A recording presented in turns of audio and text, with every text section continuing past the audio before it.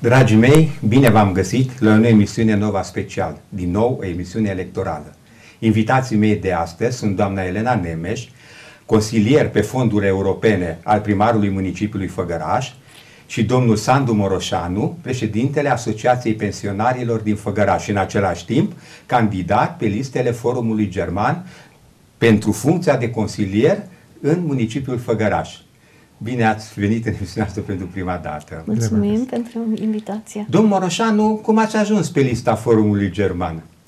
Această întrebare a apărut și în presă și vreau să spun cel puțin două motive pentru care uh, sunt acolo. Una sentimentală și una socială, aș putea o numi. Cea sentimentală este legată de tatăl meu care vorbea frecvent, uh, fluent limba germană, mm-hmm învățată pe front. Soția mea, medic, când ne-am căsătorit, a venit în Șoarș, o localitate plină de sași. Iar relația dintre ei a fost atât de puternică încât copiii mei, toți trei, au făcut grădinița germană, gimnazială și una dintre fete chiar și liceul Honterus din Brașov, iar acum căsătorită în Germania, în Berlin. Deci există o relație din acest punct de vedere. Din punct de vedere al uh, faptului că uh, social este acela al unei uh, observații foarte puternice a nemților ca seriozitate. Acum patru ani și jumătate am devenit membru a acestei, acestui forum și am văzut acolo multă seriozitate, iar în acești patru ani a fost uh, foarte multe proiecte cu primăria, printre care poate aș aminti doar câteva. Una dintre ele acela a faptului că au adus uh, multă cultură în zona noastră, artiști uh, la care am participat, Uh, Au fost acele bună, concerte, acele da, concerte la foarte, Biserica Evanghelică. La Biserica da. Evanghelică, care a fost uh, un lucru deosebit. Apoi, uh, ei au avut o, un proiect în care au avut uh, relații cu nemții și de acolo, din schimbul acesta de experiențe, a venit cu un autobuz în Făgăraș, care funcționează și care este bun pentru Făgărășeni. Comunitatea Făgărășeni. Comunitatea Făgărășeni. Care e legătura dumneavoastră, doamna Nemeș? Eu uh, uh, sunt consilier al primarului pe fonduri europene. Rezultatele pe care le-am obținut în momentul acesta sunt deosebite. L-am însoțit pe domnul primar într-un schimb de experiență în Germania pentru a aduce de acolo exemple de bune practici, de proiecte interesante. Uh, am fost împreună uh, cu dumnealui și cu părintele Klein, care este uh, fondatorul unei asociații de prestigiu pentru astfel de schimburi. Uh, ne-a impresionat în mod deosebit uh, interesul pe care l arăta această asociație soră din Germania persoanelor uh, de vârsta a treia, seniorilor dezvoltau niște proiecte extraordinar de interesante și ceea ce este foarte important, uh, încercau să utilizeze expertiza pe care uh, persoanele în vârstă o au pentru dezvoltarea comunitară. Lucrul acesta s-a întâmplat uh, și la noi în țară. În sensul că se încearcă la nivel național această corelare, această colaborare. Timid deocamdată. Timid. Făgărașul a reușit uh, excelent. Au avut un proiect uh, finanțat uh, prin, de primăria Făgăraș. În cadrul proiectului acestuia au avut un schimb de experiență cu o asociație similară, dar în același timp primăria, primarul în principal, a încurajat pensionarii din uh, asociație să meargă și să contacteze pe cei din uh, uh, aflați la Căminul de Bătrân, căminul da. aflat în, sub, în subordinea primăriei, vorbesc da. de, de cel al da, nostru, știu. așa, da. să facă schimburi acolo, să au, au dus uh, o frizeriță care să se ocupe de pensionarii de acolo. Au făcut, au uh, uh, integrat femeile internate acolo să facă lucru de mână și au făcut o expoziție împreună pensionarele noastre și femeile de acolo la Casa de Cultură, o expoziție foarte frumoasă. Deci au încercat într-un fel să integreze aceste persoane defavorizate în uh, activitățile dumnealor. Un lucru iarăși foarte, foarte interesant uh, și asta de la pensionare a venit uh, ideea, a fost aceea de a monitoriza într-un fel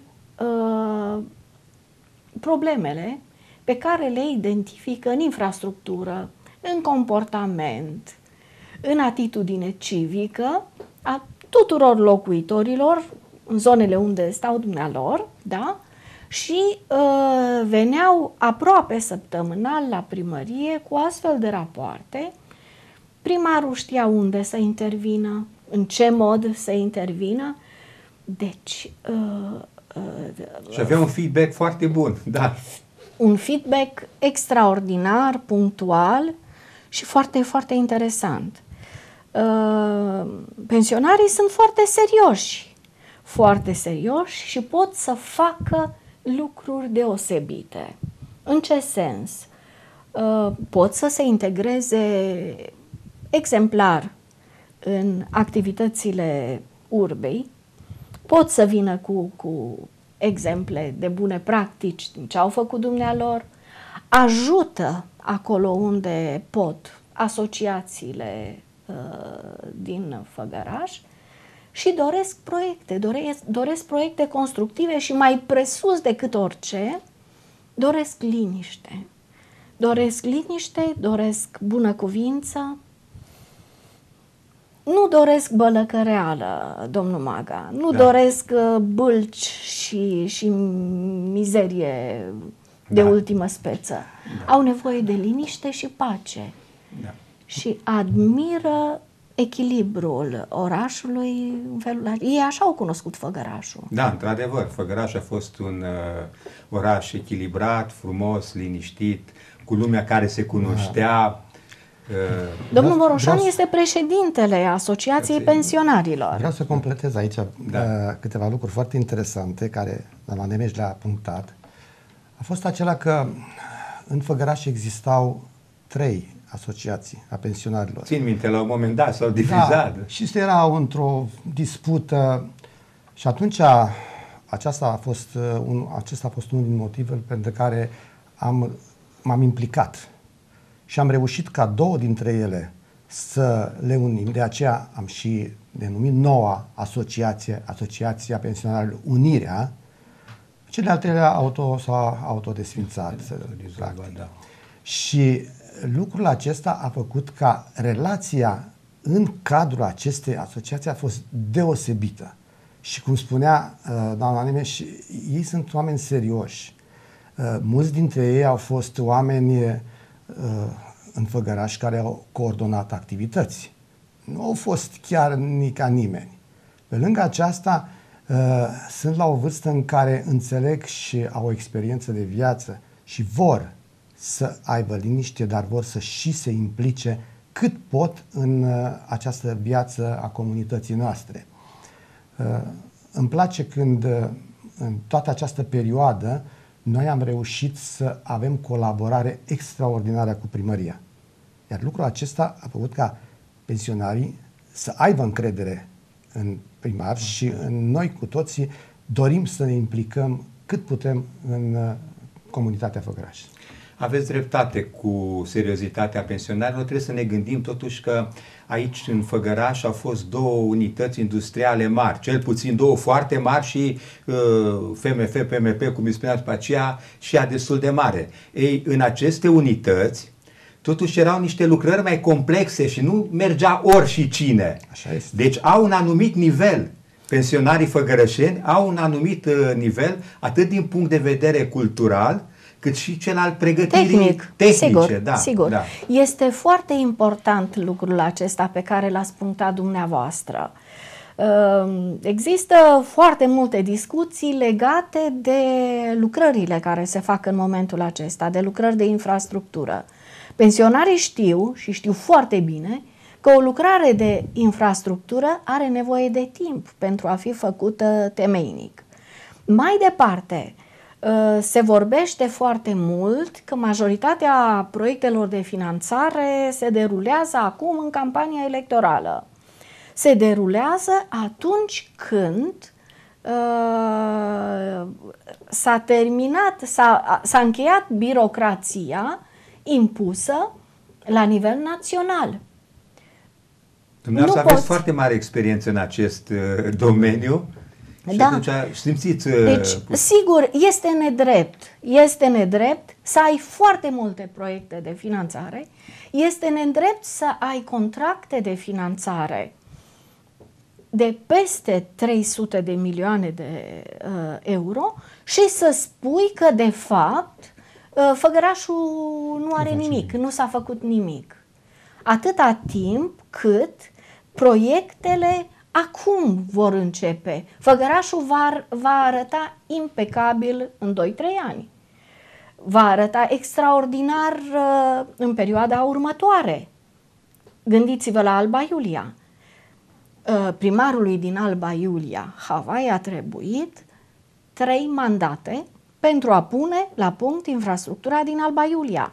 Același lucru lui Ilie Bolojan de la Oradea.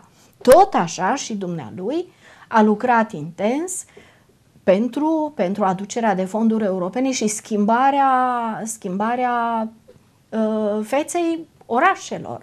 Clujul, același lucru. Deci nu, nu înțeleg, eu văd doar răutate, nu, nu neînțelegere, pentru că toată lumea vorbește despre, uh, despre o birocrație excesivă impusă proiectelor uh, gestionate la noi. Eu n-aș vedea aici făgărășenii chiar atât de răi și de... Însă ei spun ceea ce văd în, uh, în teritoriu. Mulți poate nu sunt informați despre Aceasta această este birocrație și văd că bate pasul pe loc, că acolo nu s-a, s-a închis și nu se face nimic, și s-a primit și el n-are de unde să știe că stai mă, că sunt niște, Niște locuri, pași care niște trebuie- pași de făcut. Deci zic că nu Știți sunt ce-mi chiar așa de place? condamnat. Știți da. ce îmi place la pensionari? Faptul că poate au o cultură mai mare decât a celor de care vorbeam Da. și în fiecare ședință a comitetului director al nostru îi văd că îmi spune ce mai putem face în zo- comunitatea noastră. Da. Hai să vedem cu ce putem ajuta ca să ne dezvoltăm. Sunt uh, foarte receptivi, iar sunt informați cu toate proiectele care le-a făcut și forumul german. Se pare Da. foarte interesant acest lucru. Că Că nu chiar, sunt vreau, legați. chiar vreau să vă întreb cum ați făcut dumneavoastră legătura între consilierii de la Forumul German și Asociația Pensionarilor. Pentru că sunt foarte bine informați. Și e Da. adevărat că și eu informez de fiecare dată când avem uh, întâlniri ce s-a întâmplat în uh, comunitatea noastră, dar și ei vin deja și urmăresc uh, toate, uh, toată media de informație, încât efectiv sunt și eu surprins câteodată cât de bine și binevoitori sunt pentru a dezvolta comunitatea noastră. Da, ă, pensionarii și în general oamenii de bine înțeleg că fiecare proiect trebuie să parcurgă niște etape. Firesc. Da? Din moment ce există contract de finanțare între finanțator și primăria Făgăraș, acel contract trebuie onorat. Asta este clar. Banii sunt în țară, banii au fost deja alocați, dar trebuie să treacă prin proceduri de achiziții. Acolo iar e o problemă O, mare. o foarte, foarte mare problemă de Cu modific- contestațiile, cu- Exact, Da, exact. Mai nou, mai nou, firmele de construcții care intră în asemenea licitații nu se laudă cu uh, specialiștii, cu constructorii pe care îi au de foarte bună calitate, ci cu avocații care contestă la da. nesfârșit uh, aceste licitații organizate, ceea ce e foarte trist, foarte extraordinar trist, da. de trist. Ar trebui unită, deci, uh, și nu vorbesc numai de făgăraș, vorbesc la nivel național. Politicienii noștri trebuie să fie mai responsabili și mai iubitori de țară și mai, și mai implicați în destinele țării. Mi-aduc aminte cu, cu ceva timp în urmă, m-am întâlnit cu domnul Dacian Cioloș, când era comisar, da. comisar da. la agricultură, da. pe agricultură. Da. Și l-am întrebat, domnule comisar, cum este posibil ca în toată Europa să fie considerată contribuție în natură valoarea unei clădiri pe care tu ai ridicat-o înainte sau terenul pe care îl pui la dispoziție, la dispoziție și în România nu, nu este eligibil. Păi că nu s-a negociat corect, că... Bun, mai departe. Faci proiect de finanțare pe agricultură, îți faci un grajd, dar îl dotezi impecabil cu tot ce înseamnă echipamente, dar nu te lasă să cumpere animale. E normal așa ceva? Nu e normal. Cum să fie normal? E normal. Și atunci, și atunci nu trebuie să, să existe oameni care să cunoască realitățile cu adevărat și să se implice, să se bată pentru, pentru interesele țării astea. Știți ce, Spune, știi ce interesant este că pensionarii, în uh, ședințele care le avem, în discuțiile care le avem acolo, uh, pun probleme cu o atâta de mare acuratețe și ce, ce se spunea, zice, cum este posibil ca, de exemplu, la o licitație să te conteste și să te țină în spate atât de mult timp când el putea să meargă și vin cu, și cu soluții. Să se facă o lege în care cei care blochează nedrept, nedrept, Am corect, înțeles. aceia să fie pedepsiți, să fie amendați, să fie... Deci vin se vede aici o maturitate în uh, lucrul acesta. Iar uh, cei care sunt uh, acolo, să știți că sunt, vorbea de femeia cea care, pensionar, care s-a dus la centru de bătrâni, acum fat. Oricând este doritoare să facă, să facă în continuare. Am ajuns și la a reuși să mergem în, să facem un proiect, să mergem la oamenii care sunt bolnavi și care noi ceilalți să-i putem ajuta voluntariat. Da. Aveam uh, această, această intenție de fiecare dată ca la ședință să chemăm și pe un reprezentant de la forum. Da. De aceea erau și informați și puțin uh, doritori de a socializa și cu oamenii de, din uh, zona aceea și am văzut că atât din punct de vedere politic, cât și din punct de vedere social, oamenii pensionarii sunt receptivi și vor să ajute. De aceea, uh, la un moment dat, uh, am uh, pus o întrebare, bun, ce facem în continuare la aceste alegeri? Și a zis, Asociația Pensionarilor din Făgăraș susține pe primarul actual pentru modul în care a comunicat cu noi până în prezent, cât și forumul german, care am văzut atât de multă seriozitate. Doamna Nemeș, așa cum am spus înainte, aveți o foarte mare experiență în domeniul atragerilor de fonduri europene, de proiecte, ați făcut nenumărate proiecte. Dacă aveți informații, uh, spuneați dumneavoastră și nu se plânge o țară întreagă de acest lucru, că e foarte greu, să sunt aceste contestații. Știam că la un moment dat apăruseră niște zvonuri, ca să le spun eu, că s-ar face ceva în această direcție. Așa cum zicea domnul uh, Moroșanu, Uh, ca cei care pun bețe în roate, care în mod vădit uh, uh, nu, nu au alt scop decât să frâneze, deci va apărea o asemenea lege ca aceștia să fie pedepsiți și să fie mai ușor de, de făcut o licitație. Ce informații aveți? Este ceva pe rol în această direcție sau Eu sunt mai, mai puțin entuziastă. Dar ați auzit de așa ceva? Da, am auzit, dar da. În același timp, firmele mari, firmele de avocatură mari sunt cele care, care contestă. Cine are firmă de avocatură? În niciun caz eu sau dumneavoastră. Da. Ci tot în alții politicieni, da? Care n-au niciun interes să-și piardă obiectul muncii, da. renunțând la... Și atunci ne batem în acest marazm. Este foarte trist. România putea să ajungă foarte, foarte departe dacă aveam oameni de calitate, oameni, după cum am spus, iubitori de țară, care să lupte pentru interesele noastre. După aceea, oameni uh, foarte buni, tehnocrați foarte buni, care să cunoască uh, obiectivele din teren, care să cunoască problemele reale și să propună linii de finanțare ținând cont de, de Realitate, aceste da. realități.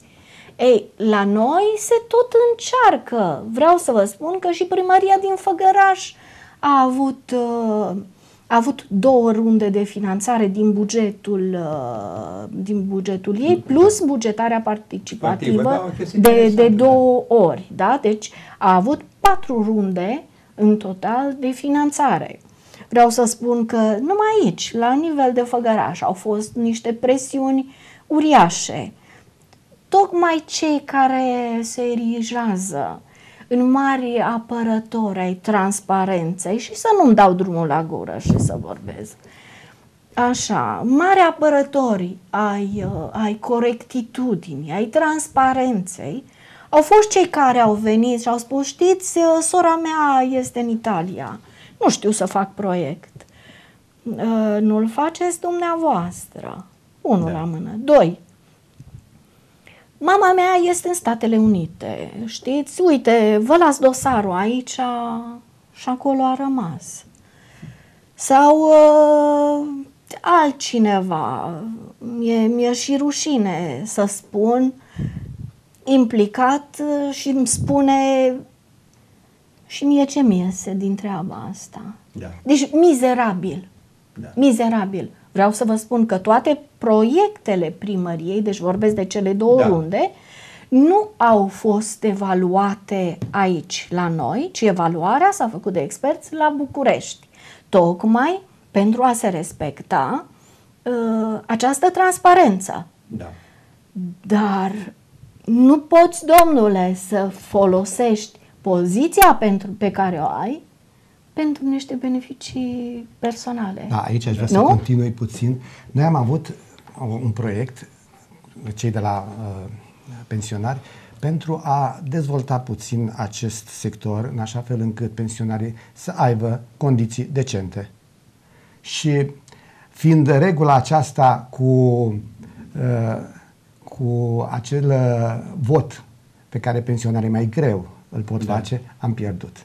Dar important este că vom merge mai departe. Și vreau să spun un ultim cuvânt, acela al continuăm împreună, continuăm pentru binele comunității Făgăraș. Vă mulțumesc pentru prezența în emisiune și vă doresc mult succes dumneavoastră mulțumesc. în alegeri, domnule Moroșanu, iar dumneavoastră în proiectele pe care le implementați mulțumesc. pentru municipalele. Mulțumim! Mulțumim! Dragii mei, până la viitoarea emisiune, Mihai Maga vă dorește multă sănătate și liniștea pe deplin meritată.